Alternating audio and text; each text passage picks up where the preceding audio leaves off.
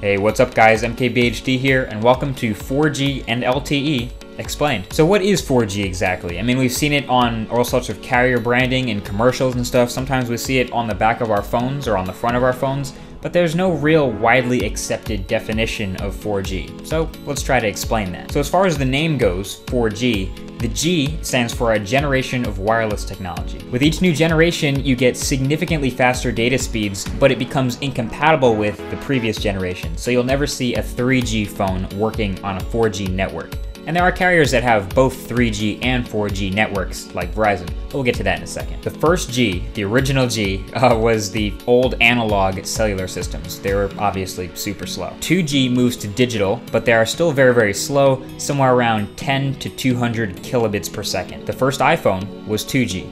Fun fact. 3G is a much faster digital and it starts at around 384 kilobits per second. 4G systems like LTE and WiMAX claim to initially start out at around 5 megabits per second, which is a lot higher than all the rest we've already seen. But 4G isn't just faster than 3G, the 4G networks also tend to have a lot more capacity than the 3G networks, so you're going to see a lot less bandwidth caps when you're on 4G when you're on 3G, you tend to be limited, and when you're on 4G, you'll see a lot more higher data plans. But the complication that has people wondering what really is 4G is the fact that there are some really modern 3G networks, like we'll get to in a second, that are actually faster than the beginnings of the 4G networks. For example, HSPA Plus.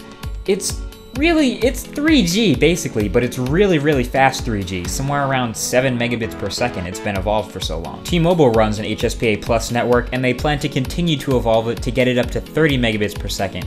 So instead of being left out of the 4G chatter, that's going to be the way of the future, they just figured they'd stamp a 4G sign on their HSPA Plus network and just declare it 4G because who's to argue? And one other difference between 3G and 4G, since we haven't mentioned it already, is that in order to hop on the brand new 4G network, like I said, it's probably incompatible, well, it is incompatible with the 3G network, so you need one of those new 4G radios in your device and those are some very, very power hungry 4G radios. This is why in the United States we pretty much haven't seen any device, any smartphone at all, with both quad core and 4G because that's just way too much power for a single battery to handle. Phones these days have, you know, huge screens, they have extremely fast RAM, these great processors, but to throw 4G on top of all that would be a huge power suck for the battery, and that's why we haven't seen something like the HTC One X, which is quad-core overseas, come to the United States quad-core. If it's coming to the United States and you want it to sell well, you just got to put 4G in there. And that's why they're saying, all right, we'll make it dual core and hopefully it'll have enough power to last through the day. Will we ever see a 4G quad core device in the United States?